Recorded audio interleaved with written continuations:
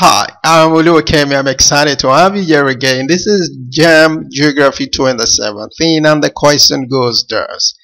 Pulpwood which is used in the manufacturing of paper cardboard and cellulose is derived mainly from.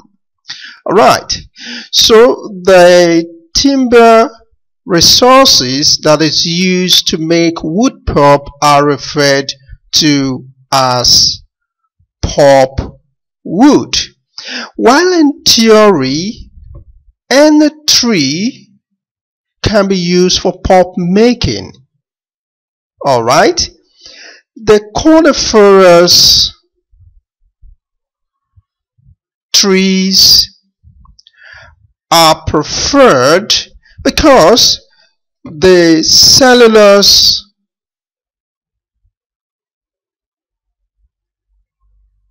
fibers in the pulp of these species are longer and therefore make strong paper okay?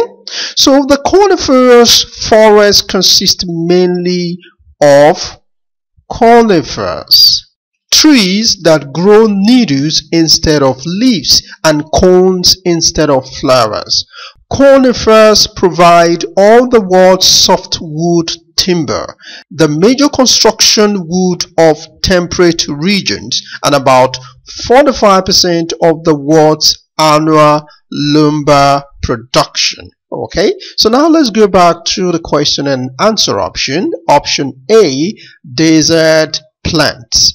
Not at all. Incorrect. Option B, tropical rainforest. This is not derived from tropical rainforest. Option C, coniferous forest. Exactly. The pulpwood are mainly derived from the coniferous forest. Option C which says broad-leaved forest is incorrect. Option E which says savanna woodland is also incorrect. So the answer option C is the right answer.